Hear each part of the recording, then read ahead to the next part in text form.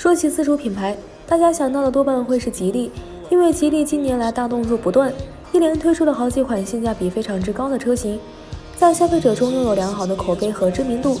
据悉，吉利又将推出一款逆天的全新 SUV，代号 CX-11。从外观上来看，CX-11 拥有吉利家族标志性的涟漪式进气格栅，整个进气格栅的轮廓就像是放大版的车标轮廓。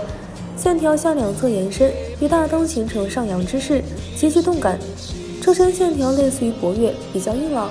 从侧面还可以看出，该车拥有全幅式车顶的设计，多幅式运动轮毂。整个车型应该是偏向于年轻化，时尚感很足。既然外观都属于运动时尚型，那么内饰自然也不例外。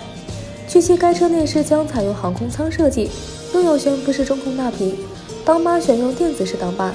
在挡把的右侧还有粗壮的扶手，内饰尽显宝马范儿。车内多处还将搭配以颜色装饰条，增加车内色彩对比度，在感官上与整车的外形相呼应。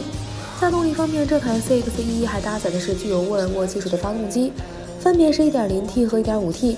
1.0T 最大可以达到136马力，1.5T 最大可以达到177马力。